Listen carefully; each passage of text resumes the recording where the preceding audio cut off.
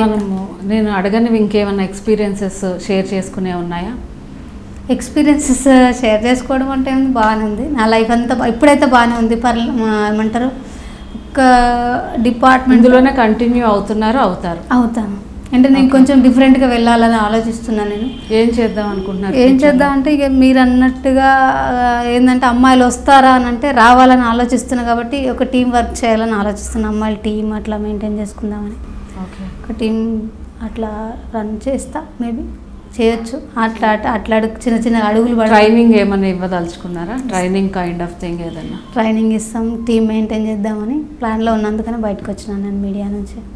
ఒకవేళ మీరు ఎంవి ఫౌండేషన్లో హ్యాపీగా ఉన్నాను అన్నారు ఒకవేళ అందులో వెళ్ళకపోయి ఉంటే Hmm. జాయిన్ అవ్వకపోతే ఏం కోల్పోయి ఉండేవాళ్ళు మీరు లైఫ్లో ఎంత ఇంపార్టెంట్ రోల్ ఎంవి ఫౌండేషన్ అనేది మీ లైఫ్లో అంటే ఇప్పుడు మదర్ అనేది వాళ్ళు ఎంత ఇంపార్టెంటో ఎంబీ ఫౌండేషన్ కూడా నాకు అంత ఇంపార్టెంట్.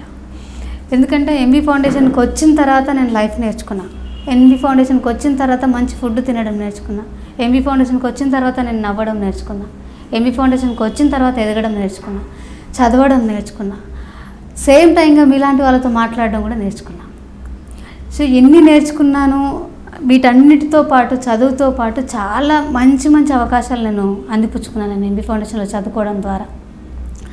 ఎందుకంటే ఒకానొక సందర్భంలో సీఎం గారు కూర్చున్న ప్లేస్లో ఏదైతే స్టేజ్ ఉంటుందో ఆ స్టేజ్లో నేను కూర్చున్నాను. ఓకే. సీఎం గారితో కూర్చొని నేను స్టేజ్ చేశానంటే చాలా నాకు ఇది. నేను టూ థౌజండ్ ఫోర్లోనే ఫస్ట్ టైం ఫ్లైట్ ఎక్కాను. ఇక్కడ నుంచి ఢిల్లీ ఢిల్లీ ఇండియా గేట్ దగ్గర నేను ప్రోగ్రామ్ చేశాను. బాలకార్మిక వ్యవస్థ నిర్మూలన దానిపైన. ఏం ప్రోగ్రామ్ అండి అది? పిల్లలు సేమ్ బాల కార్మికులు వాళ్ళ నిర్మూలన ఏంటి ఏంది అనేది కల్చరల్ యాక్టివిటీస్లో బాగా చేశాను నేను. సేమ్ టైంగా ఇక్కడ నుంచి నేను ఎక్కడో ఉండి ఒకవేళ నేను చదువుకోకపోయి ఉంటే మా గ్రామాన్ని మించి మహా అంటే సంగారెడ్డికో వికారాబాద్కో వచ్చేదాన్ని. మరి ఎక్కువ అంటే హైదరాబాద్కి వచ్చేదాన్ని ఏమో కానీ నేను ఇతర దేశాలకు వెళ్ళేదాన్ని కాదు. కనీసం నా పేరు కూడా ఉండేది కాదు. అంటే మల్లీశ్వరి ఇప్పుడు అక్కడ చదువుకున్నందుకు ఇంత వాళ్ళంతా కష్టపడ్డందుకు నాకంటే ఎక్కువ నన్ను చదివించిన టీచర్లు ఎంబీ ఫౌండేషన్ వాలంటీర్లు ప్రతి ఒక్కరు కష్టపడ్డారండి. ప్రతి ఒక్కరు కష్టం ద్వారా నేను ఇక్కడికి వచ్చిన. సో ఇప్పుడు కూడా ఈ రోజు వరకే కూడా నేను వాళ్ళతో కాంటాక్ట్లో ఉంటాను చాలా వరకు. సో నేను ఇతర దేశాలకు వెళ్ళి తర్వాత నా గురించి చెప్పుకొని నా ఫ్యామిలీ గురించి చెప్పుకొని నా నా బాలకార్మిక వ్యవస్థ గురించి కూడా చెప్పుకునే అవకాశం వచ్చిందంటే ఓన్లీ చదువుకున్నందుకు మాత్రమే. చాలా మంచి మంచి ప్రోగ్రామ్స్కి చాలా మంచి స్టేజెస్ని నేను ఫస్ట్ ఉపయోగించుకున్నాను. నేను నాకు నా అవకాశం అనేది నేను ఎప్పుడు అంటే ఒకవేళ చదువుకోకపోతే రాకపోయేది. అంటే వీటి కోసమేనా అని అంటే వీటన్నిటితో పాటు మీ అందరిలో ఇంత ఆనందంగా బతుకుతున్నాను నేను. అది నాకు చాలా ఇంపార్టెంట్.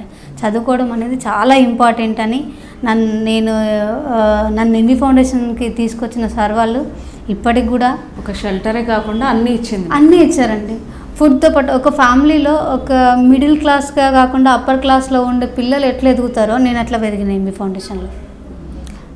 అప్పర్ క్లాస్లో ఉన్న వాళ్ళలాగా ఎదిగినాం. అంటే అంత ఎదిగినప్పుడు నేను నేర్చుకున్నది ఏంటంటే ఇంత నేర్చుకున్నా నేను. ఇంతవరకు ఉండాలని నేర్చుకున్నా. ఇప్పటికి కూడా నేను నెదర్లాండ్స్ ప్రోగ్రామ్కి వెళ్ళినప్పుడు మా సార్ వెంకటరెడ్డి గారు కూడా వచ్చారు. వెంకటరెడ్డి గారు భాస్కర్ గారు నేను ముగ్గురం వెళ్ళాము.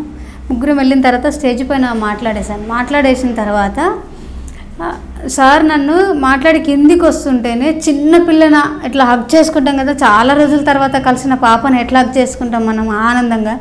సో సార్ నన్ను అట్లా హగ్ చేసుకొని ఏడ్చాడు సార్ నన్ను. సో నేను అంత అనుభవము అనేది చాలా గొప్ప నాకు చెప్పుకోవడం. నేను ఇవన్నీ స్టేజీలను ఉపయోగించుకున్న దానికంటే సార్ దృష్టిలో నేను అంత చిన్నపిల్లలాగా ఉన్నా ఇప్పటికి నేను. ఈ రోజు వరకు ఇది చేసిన అరే నాయన మీరు చాలా గ్రేటరా అంటాడు కానీ సార్ ఎంబీ ఫౌండేషన్లో వర్క్ చేసినాయి వాళ్ళందరూ మీరు చాలా గ్రేటరా అంటారు కానీ మేము మీకోసం చాలా కష్టపడ్డాం అని చెప్పుకోరు. ఓకే.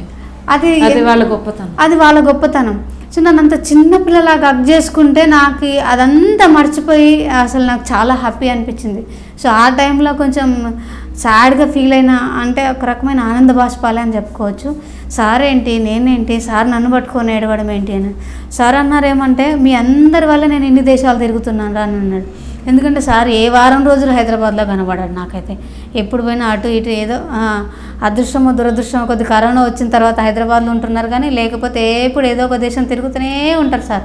ఎందుకు తిరుగుతున్నారు సార్ అని మీరు ఎందుకు సార్ అక్కడికి వెళ్తున్నారు అని అంటే అరే మీ అందరి వల్లనే వెళ్తున్నారా నాయన మీరు చాలా గొప్పలురా అంటారు. సో అంత గొప్ప వాళ్ళ దగ్గర నేను పెరిగిన కాబట్టి ఈ మాత్రం నేర్చుకోగలిగిన. ఇంకా నేర్చుకుని ఉంటే బాగుండేదేమో. సో ఏది బ్రాడ్ మైండ్ అది. అలా అనడం అనేది బ్రాడ్ మైండ్ ఓకే. అట్లా అంతే మరి. ఇప్పుడు నేను వాళ్ళ మధ్యలో పెరిగిన కదా నేను ఇంకా నేర్చుకోవాలి కదా.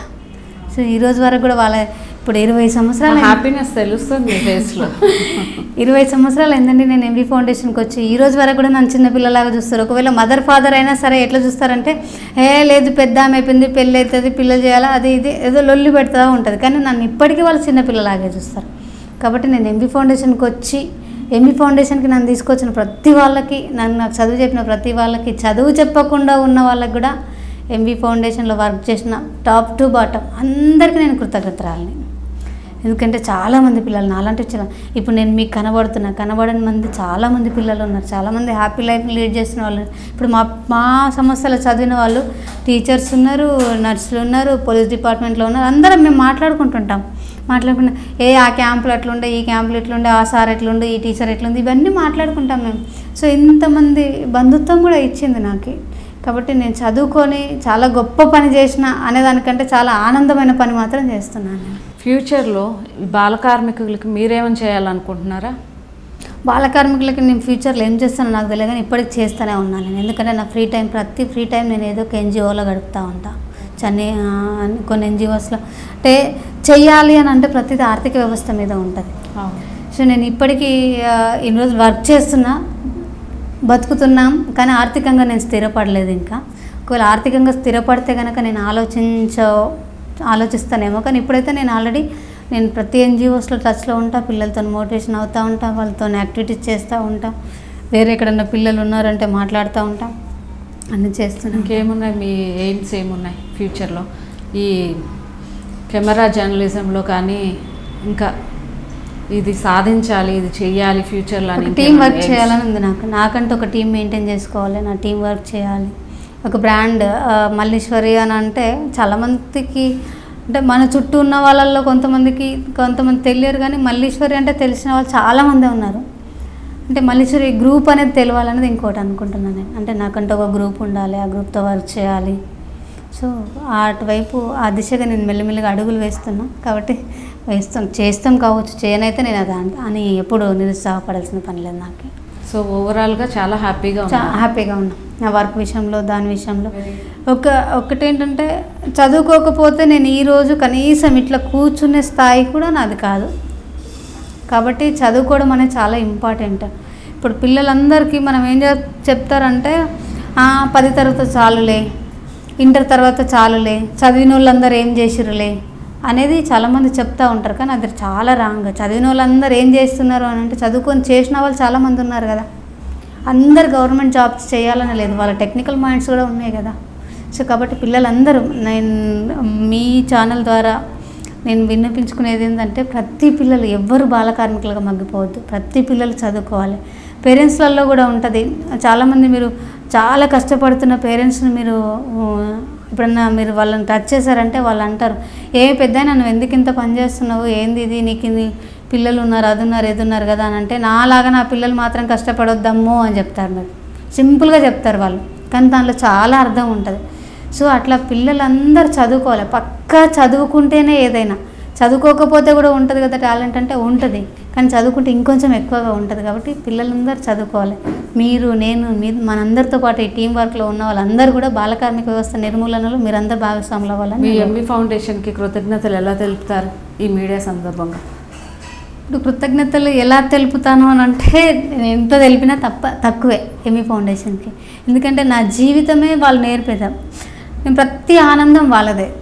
నేను ప్రతి క్షణం నేను సంతోషపడుతున్నాను అని అంటే నాకు టీచర్స్ ఇచ్చిన బెనిఫిట్సే. నాకు ఒక నువ్వు చదువుకో అని ఒకటే నేర్పిస్తుంటే మామూలుగా తీరి చదువుకొని బయటకు వచ్చేదానేమో లేదు నువ్వు పాడు అని ఒకటే నేర్పించితే పాడుతూ ఆడుతూ ఏది సప్పుడు దాకా లేదు నువ్వు తిని పుష్టిగా ఉండంటే తిని మాత్రం పుష్టిగా ఉండేదాన్నేమో. కానీ నాకు అట్లా నేర్పలేరు. తినాలి చదవాలి ఆడాలి పాడాలి ఎదగాలి అన్నిట్లో ముందు ఉండాలి నీకంటూ ఒక ప్రత్యేకత నేర్చుకోవాలని ప్రతి పిల్లకు నేర్పారు నాకు కూడా నేర్పారు. నేను ఈ ప్రత్యేకతలో వచ్చిన. కాబట్టి నేను ఏ రకంగా కృతజ్ఞతలు చెప్పుకోగలను వాళ్ళకి? మీకు పాటలు కూడా వచ్చు. మా కోసం ఒక పాట పాడండి. ఓకే. నేను ఎక్కువగా పాడిన రికార్డింగ్స్లో పాడినా కూడా నేను ఎక్కువ చైల్డ్ లేబర్ పాటలే ఎక్కువగా ఇంట్రెస్ట్ ఉంటుంది నాకు. సో నాకు బాగా పేరు తెచ్చిన పాట అంటే ఇంటర్నేషనల్ లెవెల్లో కూడా మంచి పేరు తెచ్చిన పాట ఏంటంటే వస్తున్నాం వస్తున్నాం పిల్లలం.